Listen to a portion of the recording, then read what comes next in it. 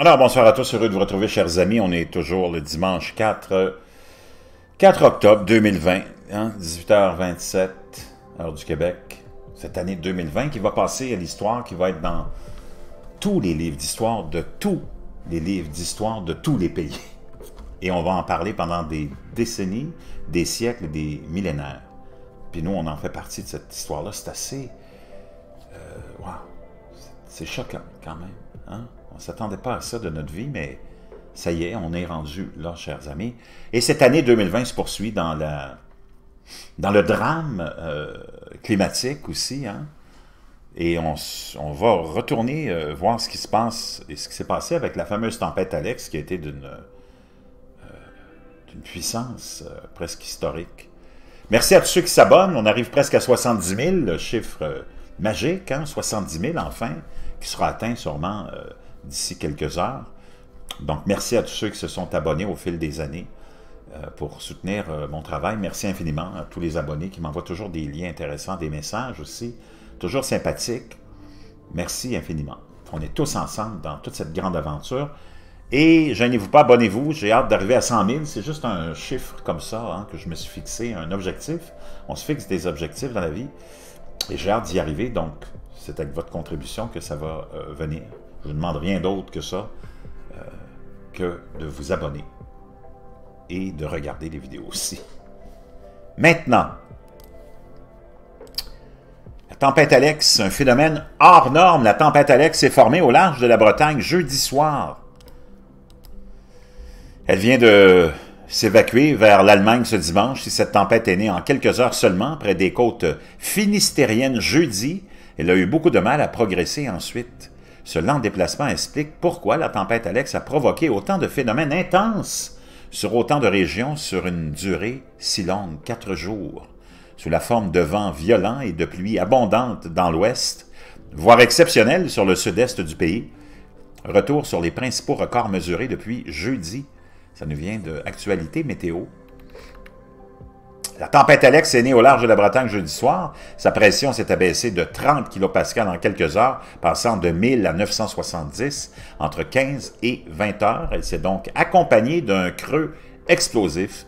Or, pour qualifier une tempête de bombe météorologique, il faut une chute de pression de 24 hectopascales en 24 heures en son centre, ce qui a bien évidemment été le cas avec la tempête Alex. Cette tempête a affecté de nombreux pays européens, et la France en particulier, surtout la Bretagne et la Provence, côte d'Azur. Voici le, on nous laisse un petit film sur la naissance, jeudi soir au large de la Bretagne, de cette tempête. Je vous laisserai le lien dans la boîte de description pendant ce temps, en Bretagne, il y a des images que vous verrez assez spectaculaires aussi. Puis, dans la nuit de vendredi à samedi, les vents les plus forts se sont produits sous les orages dans les Alpes-Maritimes et le Var à Levant. Euh, et euh, à Levant, c'est cas de le dire, le vent a atteint 162 km record mensuel de vent pour les Alpes-Maritimes.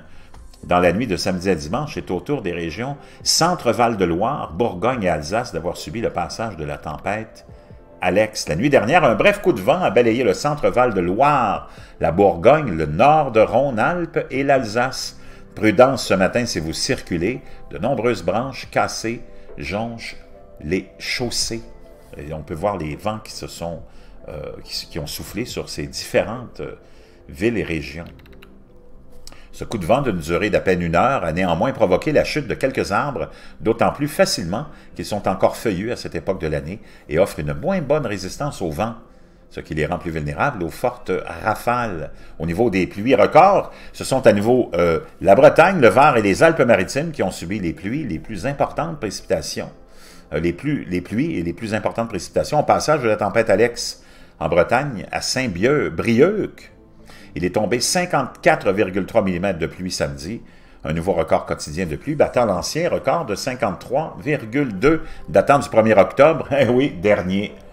Parce qu'on est dans un cycle qui est comme ça depuis 3-5 ans, augmentation des rayons cosmiques galactiques, augmentation de la couverture nuageuse, énormément, énormément d'humidité et de pluie, et aussi d'orage et d'éclairs, on peut le voir hein, depuis 3-5 ans. Ça, c'est caractéristique d'un grand minimum solaire. Ces trois derniers jours, le cumul s'établit à 150 mm, toujours à Saint-Brieuc, qu'il s'agit également d'un record de pluie sur trois jours pour la côte d'Armor, pour les Alpes-Maritimes. Il est tombé vendredi 50,2 mm à Saint-Martin-Vésubie. C'est un record absolu de pluie en 24 heures pour ce département. Et on, vous allez voir ici les euh, images aussi qui ont été euh, publiées par Météo Côte d'Azur. Les rues se sont transformées en torrents à cause des pluies diluviennes. Elles se, elles se sont évacuées vers la Ligurie, où actuellement la situation est critique. Le bilan s'alourdit terriblement avec huit disparitions confirmées. Ça, c'était le 2 octobre, il y a deux jours. Dans l'est du Var, il est tombé 570 mm de pluie à Mont. Il s'agirait là aussi d'un record absolu de pluie en 24 heures pour ce département, mais cette valeur doit être encore homologuée. À titre de comparaison, les 570 mm de pluie tombés en 24 heures à Mont correspondent à une année de pluie sur Paris ou Claire Montferrand, imaginez-vous. Parallèlement à ces pluies intenses survenues en quelques heures, un épisode durable de pluie, toujours lié à la tempête Alex, se produit depuis jeudi soir dans le sud-ouest. Wow! On peut voir les quantités de pluie qui sont tombées. à Prat de Bouc, et non Pète de Bouc, ou Face de Bouc, Prat de Bouc. Wow, là, je suis rendu dans l'hiver. Ça marche plus, mon affaire. Il est tombé 163 euh, mm de pluie. Normalement, il en tombe 113 mm à cette date. Donc, on peut voir partout, ça a été battu, battu, battu, battu. Dans les Alpes-Maritimes, les cours d'eau ont subi une crue éclair passant de paisibles filets d'eau en redoutables torrents et provoquant des inondations catastrophiques en emportant tout sur leur passage. Encore là, des, images en cours, hein, les catastrophes en cours dans les Alpes-Maritimes, où le plan euh, Orsec vient d'être déclenché, des orages fortement pluvieux, encore au programme ces prochaines heures. Crue éclair et très dangereuse, restez chez vous! Nous dit-on. Des routes, ponts, mais également de nombreuses habitations ont été emportées par les flots. 18 personnes sont portées et disparues quand même dans les Alpes-Maritimes. Une vue aérienne des dégâts causés suite aux intempéries à Saint-Martin-Vésubie. C'est vraiment, vraiment hallucinant. Pendant ce temps-là, dans les Pyrénées, il y a eu des neiges, de la neige record précoce. Dans les Pyrénées, c'est la neige qui a surpris avec des hauteurs remarquables au pas de la case en Adore avec 30 cm de neige fraîche, une hauteur que l'on retrouve normalement qu'au début du mois de décembre. Encore là, des images à couper le souffle, chers amis.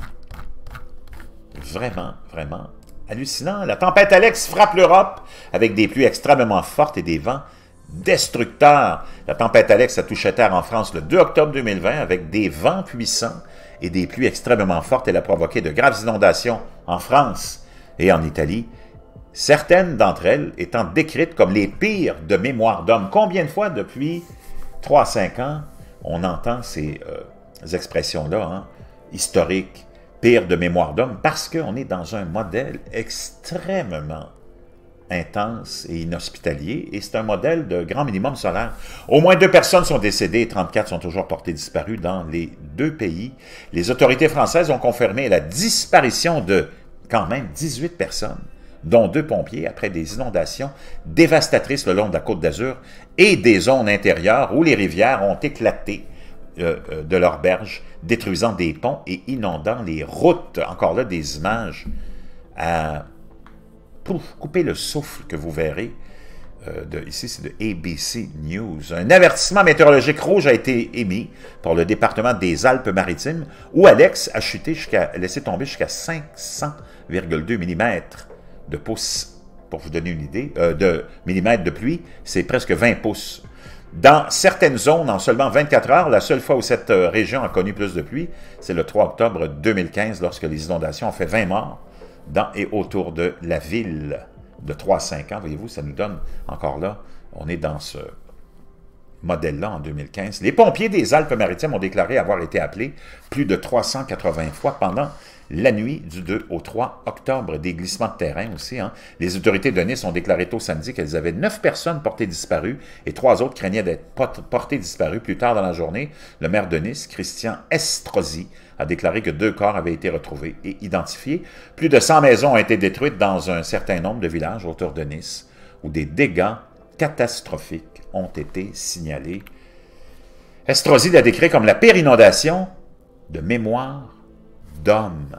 Encore là, une photo hallucinante, post-apocalyptique, vraiment hallucinante. Les conséquences du passage de la tempête Alex dans les Alpes, le pont de la Messa s'est effondré ce vendredi à Saint-Martin. Vésubie, c'est la rivière du Boréon en crue qui a emporté une partie de l'édifice. On voit des, images, vous allez voir des images vraiment euh, dans ce lien-là que je vais vous laisser, des Watchers. Incroyable. Au moins 16 personnes ont été portées disparues en Italie, où les précipitations nocturnes dans la région du Piémont, dans le nord de l'Italie, ont atteint des niveaux jamais vus depuis 1958. La région a enregistré jusqu'à 630 mm de pluie sur une période de 24 heures, selon l'Agence italienne de protection civile. Des centaines d'opérations de sauvetage ont été menées, rapporte euh, l'Associated Press. 11 campeurs ont été sauvés dans la province de Vercelli, où les eaux de crue ont atteint des sommets en 20 ans. Le porte-parole de l'Agence italienne de protection civile, euh, Mara Anastasi, a déclaré que 21 personnes avaient été retrouvées et évacuées par hélicoptère samedi soir, dont deux Allemands et leurs petits-enfants. L'étendue des dégâts est toujours en cours d'étude. La tempête a également touché, pardon, des petites allergies, l'Espagne, l'Irlande, le Royaume-Uni et d'autres régions ou d'autres pays voisins avec des, avertissements émis dans toute la région. Donc vraiment, vous allez voir que hein, c'est... Euh, l'an dernier, on avait, moi je m'attendais à des événements comme ça, mais on avait été épargné en Europe, mais là cette année, c'est revenu, ça va frapper fort, préparez-vous, parce que c'est 2020. Puis 2020, c'est ça. C'est une année unique qui déclenche toute une suite d'événements, mes amis. Ça va débouler. Êtes-vous prêts? Prêt ou pas prêt? Partez.